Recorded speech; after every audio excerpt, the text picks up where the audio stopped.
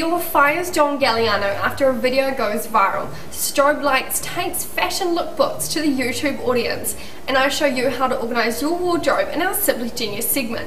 I'm your host, Katie Du Fall, and welcome to this fashion flavoured edition of The Social-Lite.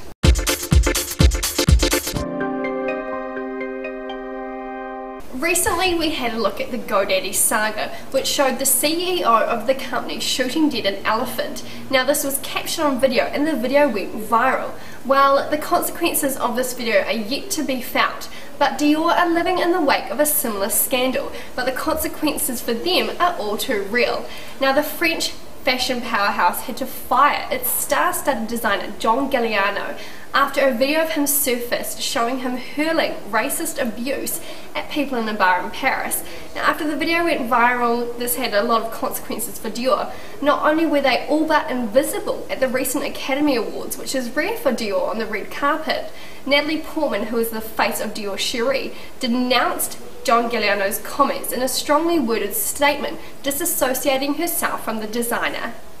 Now what we're seeing here is the magnitude of consequences for people in power. Social media has the amazing ability to spread content so quickly and to so many people, it's not as easy to sweep under the rug anymore. When Strobelikes recently surfaced on YouTube, I was intrigued. Now essentially what Strobelikes is, is it's an online version of the traditional fashion photography lookbook. Now what it does is it takes a lookbook online, makes it interactive and brings it to the YouTube generation. Each video is a sub 60 second musical montage of a single look photo shoot edited together with a strobe motion photography technique giving the effective movement. Where it gets clever is the use of web video and social media stars as models, based on the idea that their influencer status will have more impact with the online community. Hudson Media co-founded the project alongside fashion partners. Now what they want to do is move it out of the YouTube channel and into the social media platforms. Essentially what they want to achieve is a click to buy feature where you can click on the outfit and purchase all the pieces online. There's nothing more satisfying than a freshly organised wardrobe, and this week's Simply Genius idea lets you do just that. The Stylebook app allows you to take pictures of each piece of your clothing and then clear cuts the image allowing you to layer the images to create an entire outfit. Can then take this outfit and put it in the calendar.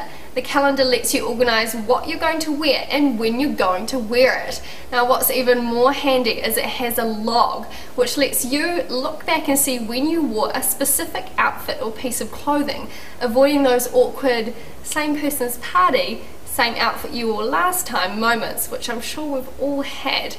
Now, in my opinion, the $3.99 price tag is well worth it for this handy piece of Fashion Easter technology. I hope you enjoyed this special fashion edition of The Social-Lite. For more social media news and tech happenings, check out our website, socialmedianz.com. Now I will be taking a short break as I'm off to Thailand to get a tan and drink some cocktails. I will be back the 3rd of May. Don't miss me too much. I'm your host, Katie Du Fall. See you guys later.